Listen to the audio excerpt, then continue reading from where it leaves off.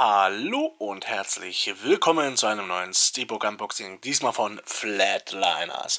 Ja, ist ja ein Remake von, de, äh, ich glaube aus den 90ern gab es mal schon mal so einen Film. Kenne ich aber nicht. Aber ja, bin gespannt auf diesen Film. Der Trailer sah eigentlich recht gut aus. Den Trailer habe ich gesehen, wo ich bei Ass im Kino war. Und ja, dachte mir, ist interessant. Und dann schauen wir uns das mal an. So, jetzt machen wir erstmal hier das Dingsbums ab.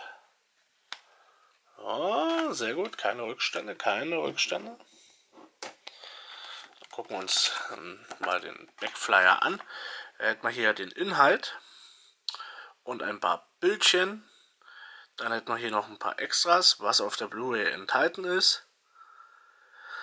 Dann hat er ein Tonformat mit äh, 5.1 DTS HDMA und eine Laufzeit von 110 Minuten.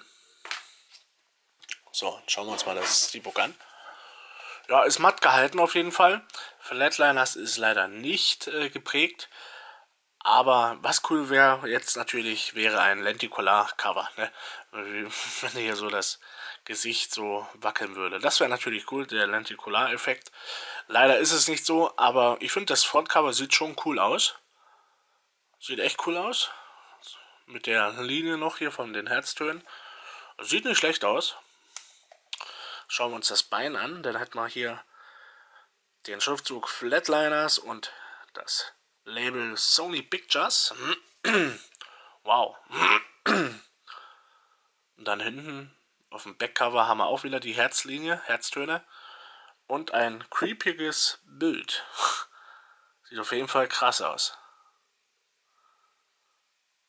Boah. Okay. Also sieht cool aus, das Bild. So schaut es im Ganzen aus.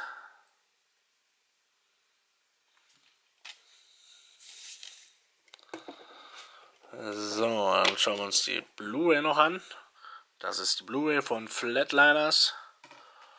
Und dann hätten wir auch wieder einen schönen Innendruck über das ganze Steelbook-Format gedruckt. Und in Farbe mit Nina Dobrev, glaube ich, ist das. Von Vampire Diaries. Und eine Leiche. Ich glaube, das soll ihre sein. Ich weiß es jetzt nicht, aber ich glaube, so im Trailer gesehen zu haben, dass es ihre sein soll, glaube ich. Ich kann aber auch falsch liegen. Aber ja, ein mittelmäßiges Steelbook ist jetzt nicht schlecht, auch nicht äh, großartig. Aber so die, das Frontcover und das Backcover sieht auf jeden Fall cool aus. Mal was anderes. Mal auch ein bisschen creepiger. Äh, hinten das Backcover. Aber ich bin auch gespannt auf diesen Film. Mal, glaube ich, auch was etwas anderes. Kenne leider jetzt nicht den aus den 90ern, den Film, aber bin gespannt auf diesen. Und ja, dann soll es das jetzt gewesen sein von diesem Steelbook. Wenn das Video euch gefallen hat, macht einen Daumen nach oben und wir sehen uns dann beim nächsten Video wieder.